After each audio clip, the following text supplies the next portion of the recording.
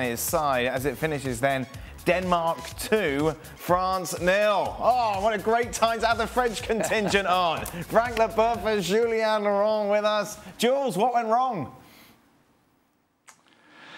Well, a lot of things, especially in the first half, Dan, especially between the, the 15th minute, because actually the start of the game was, was pretty good. And Mbappe had a chance, uh, Griezmann had the chance as well, who was captain for the first time in his international career.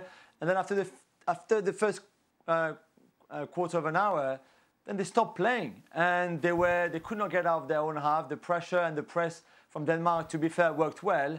But it was really, really poor from France lazy, like the defending from Upamecano on the first goal, lazy on set pieces where they kept being under pressure. They could not really read what, I mean, it was pretty simple that they were blocking Tchouameni uh, for Delaney, and every time he had a free header, like we saw on the second goal again, but even before that, they could have scored Denmark on, uh, on, on set pieces. And then there was just nothing between the 15th minute and the 45th minute for France. It was ridiculous.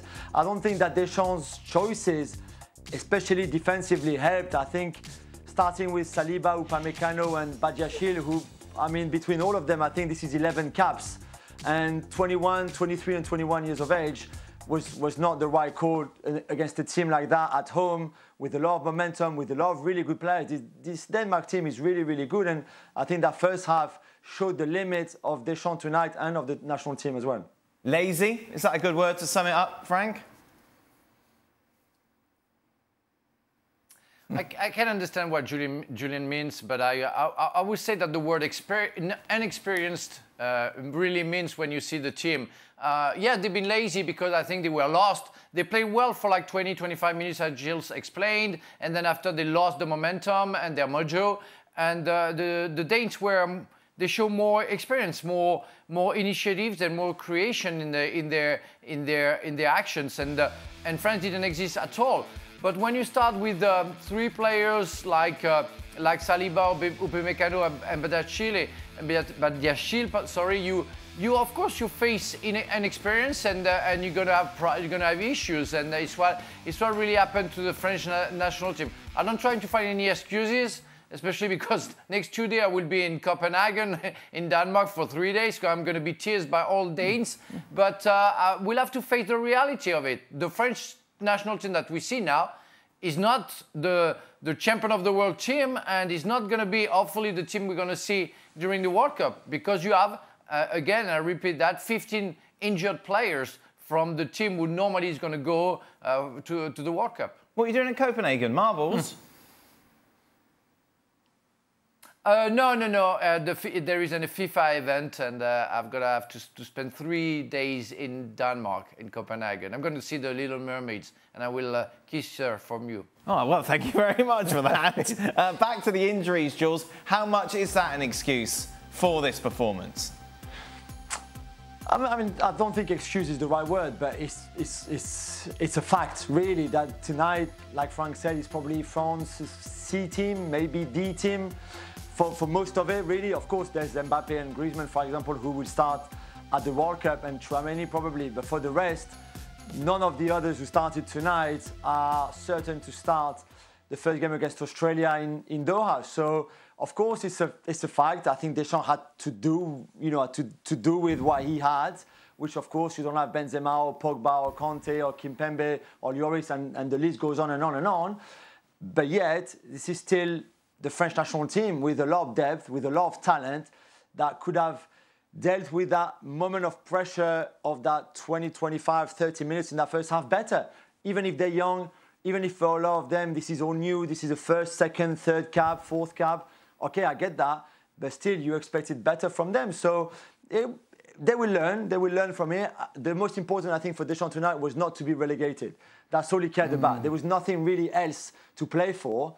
So he'll be happy by the fact that Austria lost to Croatia, that we're still in, in, in the top division in the Nations League, and that you can already forget about tonight almost.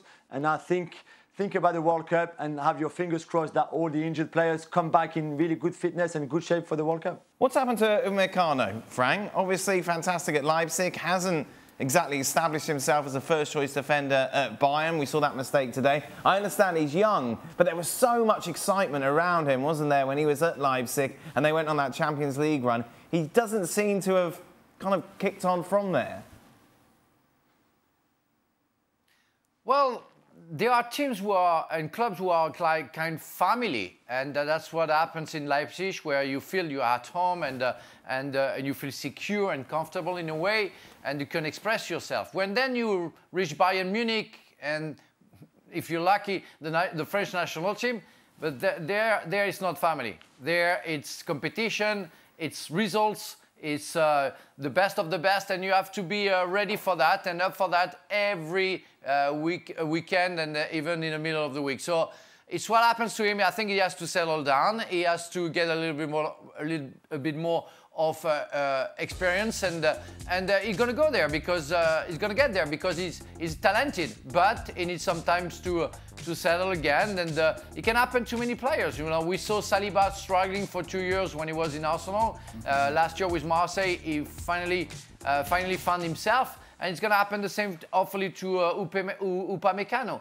And it can happen to any players that they need like a year hopefully not too, uh, to, uh, to um, understand how it works and, and settle better down.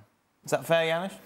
Yeah, I think so. And, uh, and who knows, maybe the absence of Luca uh, Hernandez is important, uh, both for club and country, right? I mean, we, ultimately, we don't know what Didier Deschamps will do, but I think it does happen. I, I, look at Upamecano, I remember uh, Ibrahima Konate, two youngsters who struggled at Leipzig, by the way, with injuries and, and, and with playing sometimes. And, and Konate took him a while to, to kind of get used to Liverpool, right? Then yeah. he did, and injuries again. So these are very, very young players still. So uh, it takes time sometimes. Uh, of course, as we mentioned, no Paul Pogba Dan, for this. I'm sorry, I'm sorry to cut you off, Dan, but Dan, you, have the example of Nkunku being in Paris Saint-Germain and struggling when he was playing there, mm-hmm. not trying, not finding his his uh, his, uh, his rhythm, and and going to uh, to to Leipzig and finally find that family club and expressing himself the best way.